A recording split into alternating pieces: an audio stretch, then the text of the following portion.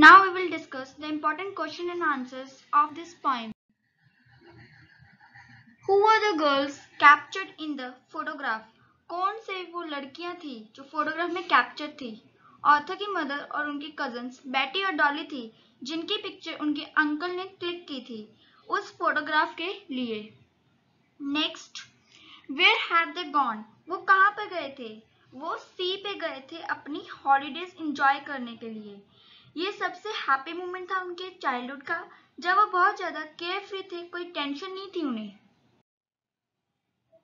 What conclusions can you draw about the poetess mother? अब इस पूरी पोइम से हमें ये पता चलता है कि जो पोइट की मदर है, वो बहुत ज़्यादा लाइवली बहुत चेयरफुल थी और वो अपनी लाइफ को बहुत ज़्यादा इंजॉय करते थे और वो बुरा भी फील करते थे, जब उन्हें ये चीज़ फील होता था कि जो उनका चाइल्डहुड है, वो बीत चुका है और वो एक पास का इवेंट बन चुका है।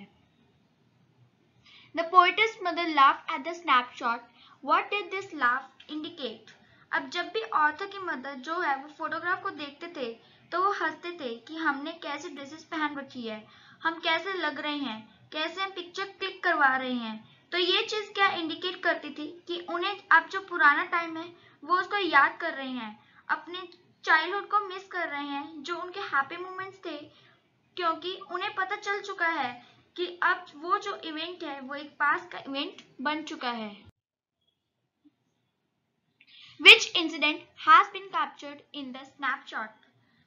अब स्नैपशॉट में कौन सा इंसिडेंट है कैप्चर किया गया था जब ऑथर की मदर अपनी कजन्स बैटी और डॉली के साथ सी पे जाते हैं, वहाँ पे अपनी हॉलीडेज एंजॉय करने के लिए तो उनके जो अंकल है, वो उस पूरे इवेंट को वहाँ पे कैप्चर करते हैं। What has not change over the years इतने साल बीत चुके हैं, लेकिन क्या ऐसी चीज़ है जो चेंज नहीं हुई है? सी जो है, वो अब तक चेंज नहीं हुआ है ज़्यादा, क्योंकि सी की वेव्स वैसी है, उसके कलर वैसे ही है। वैसे ही लोग वहाँ पे एंजॉय करने आते हैं।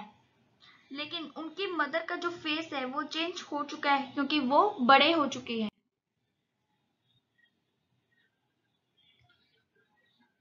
What does the word cardboard denote in the poem? अब इस पोएम की स्टार्टिंग में जो पोइट है, वो बताते हैं कि एक फोटोग्राफ है, जिसे वो देखते हैं, और वो जो फोटोग्राफ है, वो कार्डबोर्ड के ऊपर है, एक थिक पेपर पर है, जिसके ऊपर वो फोटोग्राफ चिपकाया गया है अब वो पुराने टाइम में उनके पास इतने अच्छे फ्रेम्स वगैरह तो होते नहीं थे। तो वो एक कार्डबोर्ड एक थिक पेपर को लेते थे और उसके ऊपर जो पिक्चर उसे चिपका देते थे और वो उसे प्रिजर्व कर लेते थे। So these were the important question and answers I hope that you all understood it till then I see you in the next video bye